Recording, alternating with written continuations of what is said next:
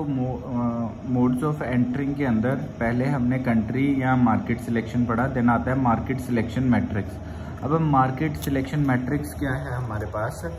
जहाँ पे कंपनी जो है प्लान करती है कि मुझे किस मार्केट के अंदर जो है इन्वेस्टमेंट करनी है है ना?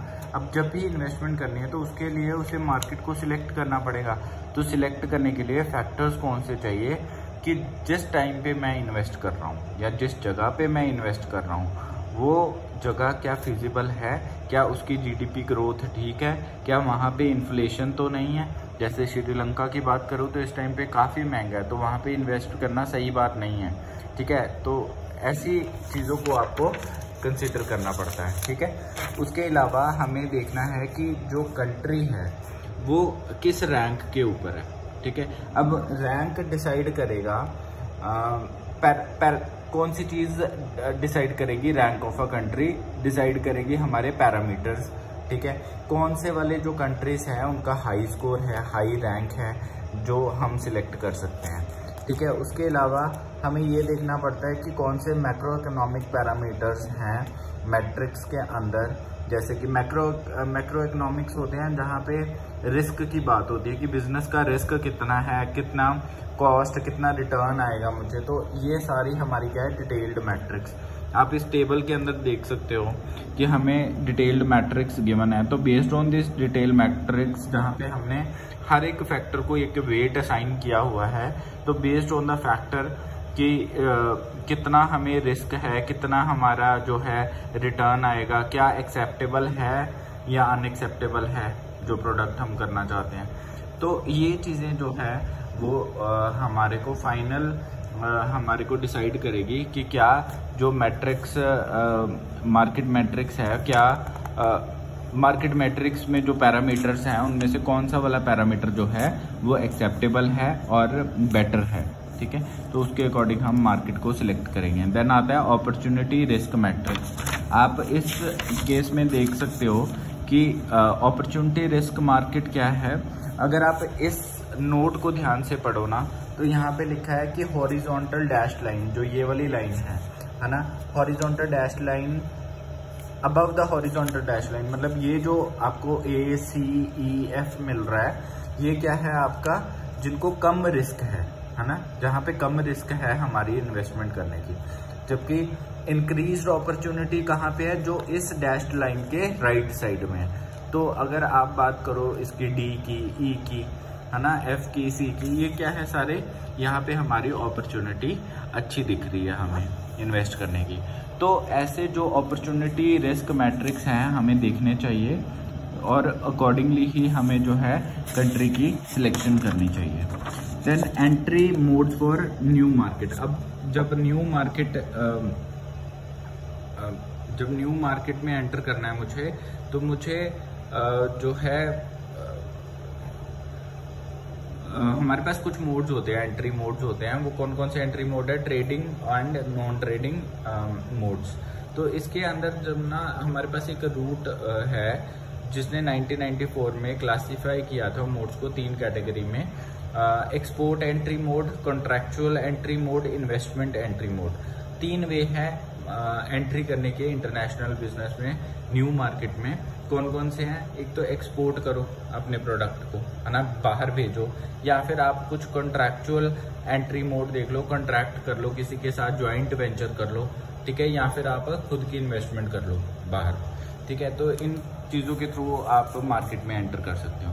अब डिटर्मिनेंट्स कौन कौन से आपके एंट्री मोड के, इसके अंदर हमारे पास बेसिकली दो फैक्टर्स आते हैं। एक तो एक्सटर्नल फैक्टर आता है, एक इंटरनल फैक्टर आता है। ठीक है? एंट्री मोड के डिटर्मिनेंट्स के अंदर। डिटर्मिनेंट से मेरा मतलब क्या है? ऑल्टरनेटिव एंट्री मोड्स मुझे देखने हैं। ठीक है? ऑल्टरनेटिव मोड्स जिसके थ्रू मैं एंटर कर सकता हूँ मार्केट में और उनको कौन कौन से फैक्टर्स इफ़ेक्ट करेंगे। देखो सबसे पहले अगर एक्सटर्नल फैक्टर की बात करूँ size and growth of foreign market क्या है, उसके अकॉर्डिंग मुझे देखना पड़ेगा कि मुझे एंटर करना है, नहीं करना। कॉम्पिटिटिव इंटेंसिटी क्या है? फॉरेन मार्केट के अंदर कॉम्पिटिटिव इंटेंसिटी है या नहीं है, ठीक है?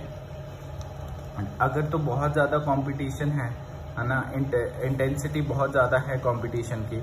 देन जो MNC है, उनके लिए फेवरेबल है। ठीक है? फेवरेबल है एंट्री मोड करना। जिसमें आपके जो है लो रिसोर्स कमिटमेंट्स रहेंगी।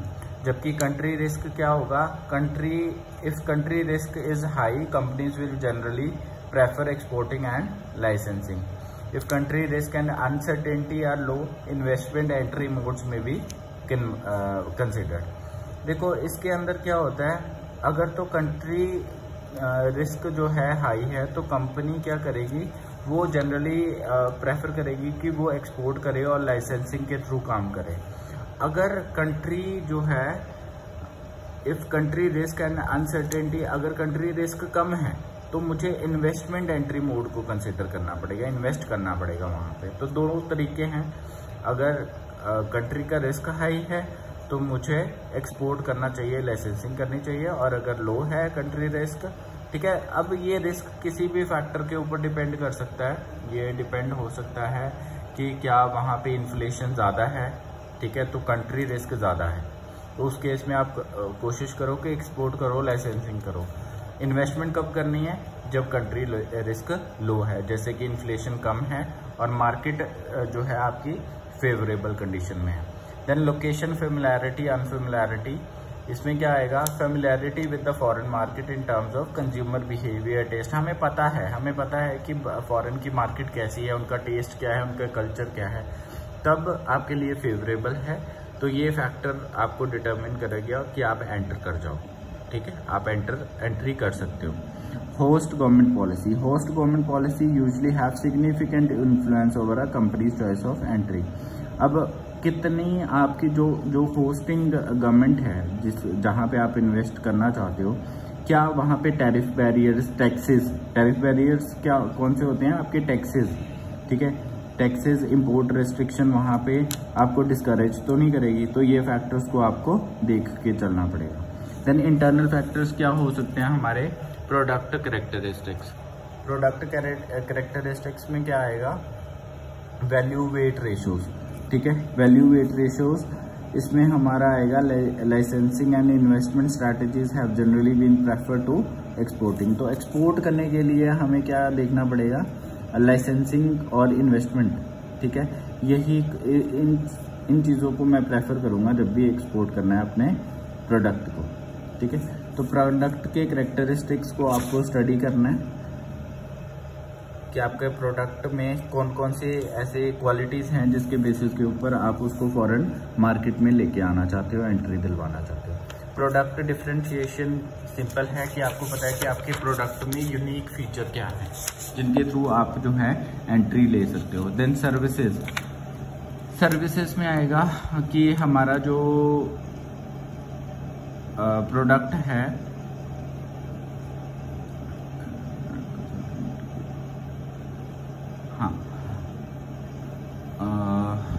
मी सी यहाँ पे क्या आएगा? मैनुफैक्चर्ड गुड्स और merchandise in general can physically exported but projects और service like constructor retailing and management to be produced और एस्टेब्लिशन हाँ इसमें आएगा कि क्या हमें देखना पड़ेगा कि क्या जो गुड्स या सर्विसेज़ हैं हमें फिजिकली उनको एक्सपोर्ट करना पड़ेगा। कुछ ऐसे प्रोडक्ट्स होते हैं जो हमें होस्ट कंट्री में, जहाँ पे हम कंट्री में इंटरेस्टेड हैं, उस कंट्री में ही जाके वो चीज़ें पॉसिबल होती है। जैसे कंस्ट्रक्शन हो गया रिटेलिंग हो गया तो ये चीज़ें जो हैं सर्विसेज़ के अंडर मेरे आएँगी। ये चीज़ों का मुझे ध्यान रखना पड़ेगा। Then technology and dissemination risk क्या होता है? टेक्नोलॉजी कैसी है? है ना? किस तरह की टेक्नोलॉजी है? किस तरह की फर्म है जहाँ पे जो है आ, मैं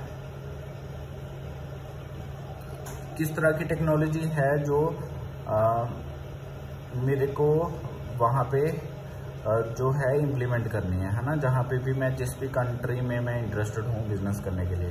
देन रिसोर्स कमिटमेंट में क्या आएगा कि कौन कौन सी जो रिसोर्सेज है जो मैं वहाँ पे अपने जिनके जिनके पास रिसोर्सेज अच्छे कंपनीज़ के पास, वही जो है कंट्रीज़ में इन्वेस्ट कर सकते हैं। जिनके पास रिसोर्सेज कम हैं, वो इन्वेस्ट नहीं कर सकते। अब एंट्री मोड डिसीज़न के अंदर क्या आएगा? एंट्री मोड डिसीज़न में हमारे पास ये डायग्राम जो है वो इम्पोर्टेंट रहेगा जहाँ पे मुझे चॉइस ऑफ़ एंट्री मोड देखना पड़ेगा कि क्या मेरे पास choice of entry mode non equity mode है या फिर इक्विटी मोड है। अगर तो नॉन इक्विटी मोड है तो उस केस में मुझे एक्सपोर्ट जो है वो करना पड़ेगा और कॉन्ट्रैक्चुअल एग्रीमेंट्स करने पड़ेंगे। अगर इक्विटी मोड है तो वहाँ पे इक्वल आपकी पार्टनरशिप के बेसिस के ऊपर जो है आ, उसके थ्रू भी काम होता है जिसको हम ज्वाइंट वेंचर्स बोलते हैं, ठीक है? या फिर होली ओन्ड सब्सिडरीज होंगी। तो डायरेक्ट एक्सपोर्ट इनडायरेक्ट एक्सपोर्ट और अदर्स ठीक है? ये नॉन इक्विटी मोड्स हैं। देन कॉन्ट्रैक्चुअल एग्रीमेंट्स के अंदर हमारे पास लाइसेंस लाइसेंसिंग कर सकते हैं टर्न की प्रोजेक्ट्स ले सकते हैं आर एंड डी कॉन्ट्रैक्ट कर सकते हैं को मार्केटिंग कर सकते हैं। ज्वाइंट वेंचर्स के अंदर हम majority joint venture 50 50 partnership minority joint venture कर सकते हैं। और होल ओन्ड के अंदर हम ग्रीन फ़ील्ड एक्विजिशन अदर्स आप, आपने यही चीज़ें जो हैं स्ट्रैटेजिक मैनेजमेंट में भी देखी थी हमने, ठीक है? So with this I think अभी हमारे दो टॉपिक्स यहाँ पे हैं तो इनको देख लेते हैं एक बार। एंट्री मोड में एडवांटेजेस डिसएडवांटेजेस क्या हैं?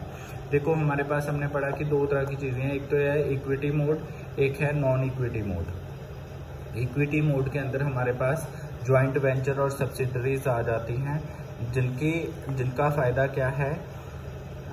ओनरशिप एडवांटेज होती है। होली ओन्ड जो होती है, जो एक ही कंपनी के द्वारा होती है तो subsidiaries having more advantage than joint ventures तो इस केस में पता है कि एक ही कंपनी इन्वॉल्व है तो ज़्यादा बेनिफिट हमें होगा उस चीज़ का जबकि ज्वाइंट वेंचर्स में है जो वो ये प्रॉब्लम आ सकती है कि होली ओन्ड नहीं होता वो दो कंपनीज़ के बीच में पार्टनरशिप होती है। नॉन इक्विटी मोड जो है आ, उस केस में ऑनरशिप डिसएडवांटेज कहीं ना कहीं रहती है। बट नॉन इक्विटी मोड जो होती है वो लो, लो रिस्क के ऊपर काम करती हैं और लो डेवलपमेंट कॉस्ट उनकी होती है। ठीक है? तो आप देख सकते हो यहाँ पे कुछ डायग्राम है जहाँ पे आ, हमने इक्विटी नॉन इक्विटी मोड्स हैं उसके बारे में दिया हुआ है। तो आप इसको कर भी सकते हो वैसे बट जितना हमने पढ़ लिया है एंट्री मोड्स के बारे में वो आप लिख सकते हो। और लास्ट में जो आपने पॉइंट देना है वो देना है आपने when to enter the foreign market तो इसमें आप एग्जाम्पल्स भी दे सकते हो। कब एंटर करना चाहिए मुझे? पहले तो हमें सिलेक्शन ऑफ़ कंट्री देखनी है मार्केट देखनी है कि कौन सी जगह पे मुझे काम करना है। सेकंड मुझे टाइम ऑफ़ एंट्री अपनी देखनी है कि फेवरेबल कंडीशन में ही मुझे एंटर करना है, ठीक है फॉरेन मार्केट के अंदर। और थर्ड मुझे अपनी इन्वेस्टमेंट चेक करनी पड़ेगी कि कितना मैं इन्वेस्ट कर सकता हूँ। अकॉर्डिंगली ही मैं यहाँ पे मूव करूँ। नेक्स्ट आता है हमारे पास इसी का पार्ट जो है फ़र्स्ट मूवर एडवांटेज और later mover advantage first mover advantage होता है जो पहले ही, सबसे पहले जो है इन्वेस्ट करता है फॉरेन मार्केट के अंदर। लेटर मूवर मतलब उसके बाद में, फ़र्स्ट के बाद में जितने भी आएँगे, वो लेटर मूवमेंट, मूवर में आएँगे। तो उनके क्या एडवांटेजेस हैं? देखो, अगर तो मैं फ़र्स्ट मूवर हूँ, ठीक है? तो मेरे पास टेक्नोलॉजी थी तो मैं मूव किया। तो मतलब मैं टेक्नोलॉजी में लीडर रहूँगा सेकंड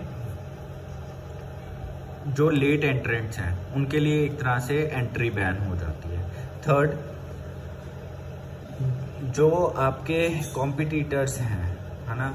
जो आप जहाँ पे आप काम कर रहे थे जहाँ पे आप काम कर रहे थे लोकल लेवल के ऊपर तो उनके साथ जो आपके क्लैशेस थे वो ख़त्म हो जाएँगे। और आपके जो रिलेशनशिप्स हैं with the key stake holder जो आपके बिज़नेस में इंटरेस्टेड हैं वो आपके बढ़िया बन जाएँगे अगर आप फ़र्स्ट मूवर हो। देन हमारे पास लेट मूवर की क्या रहती है?